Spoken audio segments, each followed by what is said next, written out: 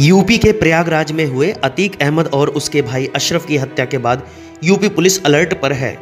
शांति व्यवस्था बनी रहने के लिए पूरी यूपी में धारा 144 लागू कर दी गई है। प्रशासन और पुलिस अधिकारी हर ज़िले और हर क्षेत्र में नज़र बनाए हुए हैं। अतीक अहमद और अशरफ अहमद की हत्या का असर बागेश्वर धाम के पीठाधीश्वर धीरेन्द्र शास्त्री की कानपुर देहात में होने वाली हनुमंत कथा पर भी पड़ गया है। आपको बता दें कि अतीक अशरफ हत्याकांड के चलते कानपुर देहात जिला प्रशासन ने धीरेन्द्र शास्त्री के होने वाले कार्यक्रम को स्थगित कर दिया था। गौरतलब है कि धीरेन्द्र शास्त्री के कथा कार्यक्रम में लाखों लोगों की भीड़ इकट्ठा होती है।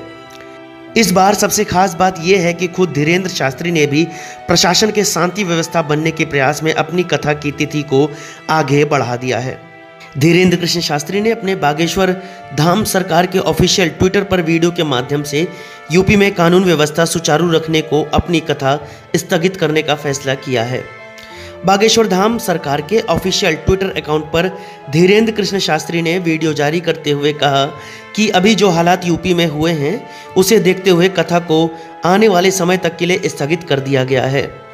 धीरेन्द्र शास्त्री ने आगे कहा कि यूपी में धारा 144 लागू है, ऐसे में 17 अप्रैल से 21 अप्रैल तक होने वाली कथा अभी के लिए स्थगित कर दी गई है, लेकिन सही समय आने पर कथा का आयोजन किया जाएगा। आपको यहाँ हम बताना चाहेंगे कि कानपुर देहात के शिवली तहसील के मैथा क्षेत्र के पवन तनय आश्रम में 17 अप्रैल से लेकर 21 अप्रैल तक हनुमंत कथा का आयोजन किया जाना था। कथा करने के लिए बागेश्वर धाम के पीठाधीश्वर धीरेन्द्र कृष्ण शास्त्री आने वाले थे। इस कार्यक्रम की तैयारियाँ काफ़ी दिन पहले से ही शुरू हो गई थी। कार्यक्रम को आयोजित करने के लिए जिला प्रशासन से आयोजकों को परमिशन भी मिल गई थी। धीरेन्द्र शास्त्री के कार्यक्रम को लेकर तैयारियाँ जोरों पर थी। इसी बीच शनिवार रात को माफिया अतीक और उसके भाई अशरफ की गोली मारकर हत्या कर दी गई। इस हत्याकांड के बाद पूरे प्रदेश में धारा 144 लागू कर दिया गया और पुलिस पूरी तरह से मुस्तैदी पर आ गई। और इसी के कारण धीरेन्द्र कृष्ण शास्त्री का कार्यक्रम भी स्थगित कर दिया गया।